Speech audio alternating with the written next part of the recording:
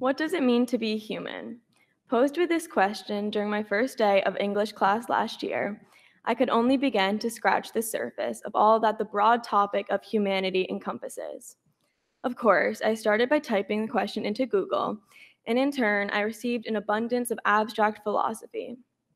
As the school year went on and the content of my different classes began to intersect, I learned it is possible to approach the question from a variety of directions. In my science classes, I learned what it means to be human on a physical and biological level through the many ways in which we differ from other life forms. In history classes, I've studied the social and technological developments that have characterized evolving civilizations throughout time. I've discussed communication and culture in countries all around the world, and I've analyzed the art, literature, and creations of individuals with unique backgrounds and stories to tell. And although the knowledge I've absorbed in all of these areas has been fascinating, the question of what does it mean to be human has still remained in the back of my mind ever since, longing for closure but never quite successful in its quest for an answer. I found that this question is a difficult one, not because it doesn't have an answer, but rather because there is a seemingly infinite number of ways to answer it depending on where you look and who you ask. I signed up to give this speech back in the fall after knowing since my freshman year that this was the way I wanted to end my time at Brooks. More recently, I decided I wanted to talk about the ways that I've come to approach this very question by sharing a couple of personal anecdotes with the hope that some of you will go on to do the same in your unique ways. My answer to the question began to take shape once I realized humanity in its purest form was on dis- full display much closer than I thought, right here at Brooks School. I'm sure many of you are familiar with the ginkgo tree that stands in the center of our campus. The leaves from this tree fall down one day each autumn and as the old tradition has it, if you catch a leaf before it hits the ground, you'll receive good luck. On that particular day, this past fall, I got out of class early and was beginning to walk down Main Street back to my dorm when I noticed the new freshman boy who was walking by himself just ahead of me had suddenly started running towards the, the ginkgo tree. I watched as he began his attempt to catch a falling leaf, darting around the tree and gas- grasping at the air above him, never appearing to become discouraged throughout his many failed attempts. I finally saw his face light up with joy as one of the fan shaped leaves floated right down into his grasp. That fleeting moment stuck with me, and as I walked past the tree again that day, I realized that the way in which you try to catch a ginkgo leaf is almost like a window into your humanity. I started to pay attention to the different ways people went about trying to catch a leaf. Some people went up to the tree in a huddle of friends, some looked on from afar as other people caught their leaves, and others didn't even seem to notice the tree was there.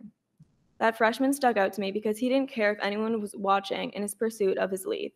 While others might have been too proud to show weakness or admit that they could use a little luck, he was confident enough in himself that he could truly care- be carefree without needing an ounce of validation. This is an important lesson that I didn't realize I needed to be reminded of until that very moment.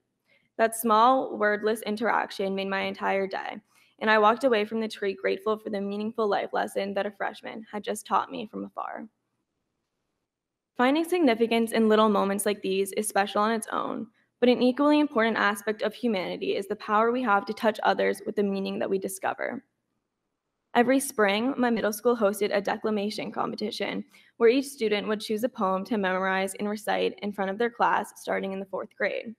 I vividly remember visiting my grandparents' house just after my teacher announced we needed to start selecting our poems. As soon as I asked my Nana if she had any ideas, she knew exactly which poem I should use. As she began to recite it perfectly from memory, I could immediately tell how excited she was to share it with me. The poem is called Don't Quit, which Anya just read for you all. Um, Nana learned this poem when she was in the second grade after a teacher had shared it with her. It immediately resonated and has stuck with her throughout her entire life. I ended up using that poem for declamation that year, but the importance it held did not end there. What began as the lighthearted tradition Nana and I had of reciting the poem together hand in hand during family events quickly became more significant as the years started to pass and we both got older. Though Nana's memory slowly began to slip away, this poem has always remained crystal clear in her mind. Every time she recites it, it's like she turns back into her second grade self, radiating pure childlike joy. A huge smile brightens up her face, and it brings so much happiness to our entire family time and time again. I quickly realized the deeper role this little poem was playing in our lives, as it provided grounding consistency for both of us. Recently, my Nana took a fall and had to have a sudden surgery.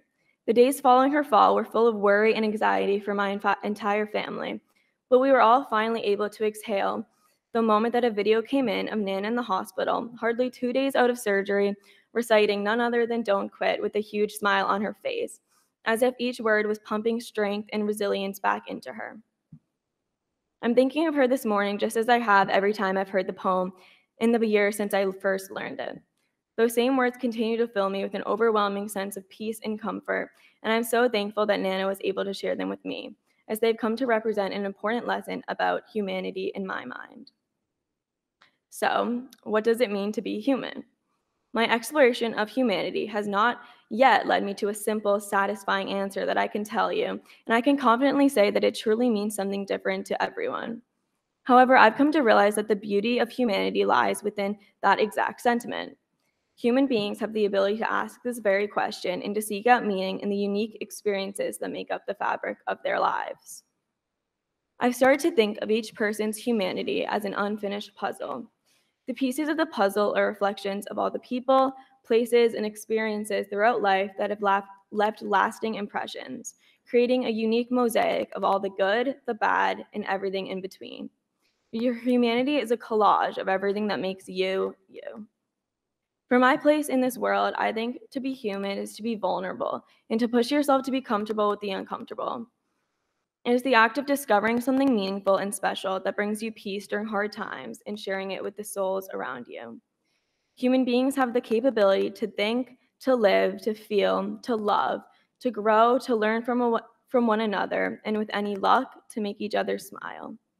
Our humanity makes us each unique, but unites us at the same time. And you can never anticipate the imprints your existence is going to leave on the lives of the people around you.